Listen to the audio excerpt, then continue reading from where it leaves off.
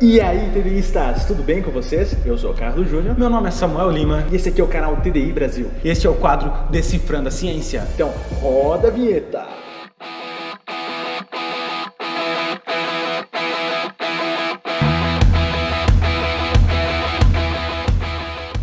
Hoje vamos falar como a vida é complexa. Bom, será que a origem da vida foi algo simples ou algo extremamente complexo? Darwin vai dizer que a diversificação de espécies aconteceu a partir de formas mais simples de vida, que foram evoluindo lenta, gradual e sucessivamente ao longo de enormes períodos de tempo. Bom, Será que isso vai proceder? E um dos conceitos que vai nos ajudar a debater e entender esse tema tão interessante é a complexidade irredutível. E o que é a complexidade irredutível? Peary define a complexidade irredutível em seu livro A Caixa Preta de Darwin como um sistema único, composto de várias partes que contribuem para a função básica do sistema, onde a remoção de qualquer uma das partes faz com que o sistema deixe de funcionar efetivamente. Então, dessa forma, Michael Behe dá o exemplo de uma ratoeira.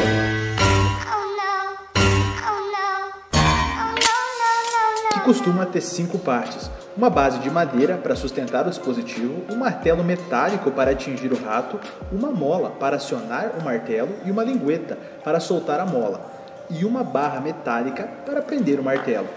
Sem uma das partes, ele vai deixar de cumprir aquela função específica que é da ratoeira. Portanto, a ratoeira é irredutivelmente complexa. Tá, mas eu tava pensando aqui enquanto você falava, e se eu pegar a ratoeira, né? Sim. Tirar essa partezinha aqui e pegar a minha gravata, super bonita e estilosa, e usar a ratoeira para fazer um prendedor de gravatas. um prendedor de gravatas? É, deixa eu te mostrar para tu entender vamos melhor. Vamos lá, vamos lá. Tu abre aqui uhum. e coloca aqui. Olha só.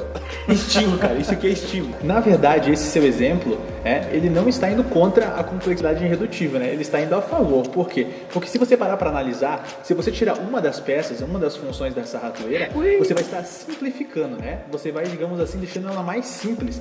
Dessa forma, é, você está tirando uma das funções específicas dela, que é matar o rato. Esse prendedor de gravata ele é muito mais simples do que uma ratoeira, por exemplo. Então o que você está fazendo é deixar, digamos assim, é, menos evoluído ao invés de evoluir.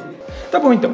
Vamos falar sobre biologia. E um sistema que Birri considera irredutivelmente complexo dentro do sistema bioquímico é o flagelo bacteriano. O flagelo é um motor rotor, movido por um fluxo de ácidos com uma cauda tipo chicote ou filamento, que gira em torno de 20 mil a 100 mil RPMs, cujo movimento rotatório permite com que a bactéria se movimente dentro do seu ambiente aquoso.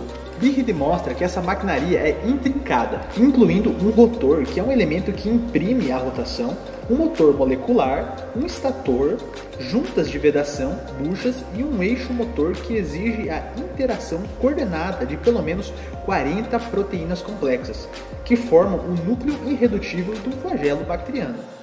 E que a ausência de qualquer uma delas resultaria na perda completa da função do motor.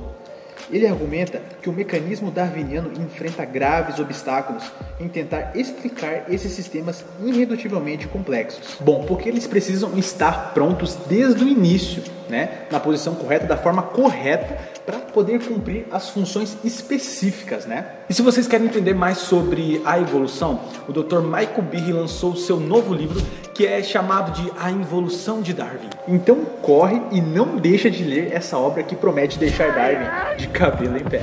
E se gostaram desse vídeo, se inscreve no canal, deixa seu like, comenta aí embaixo, compartilha para todo mundo, porque se depender da evolução, cara, vai demorar muito tempo. A gente está com uma meta de 10 mil inscritos. Então, gente, vai lá, compartilha muito, muito, muito, muito esse vídeo, tá? Manda pra, pra avó, manda pra tia, pros amigos, para todo mundo da faculdade, para que todo mundo possa conhecer e se inscrever no canal. A gente vai ficando por aqui com o quadro Decifrando a Ciência. Até a próxima jornada.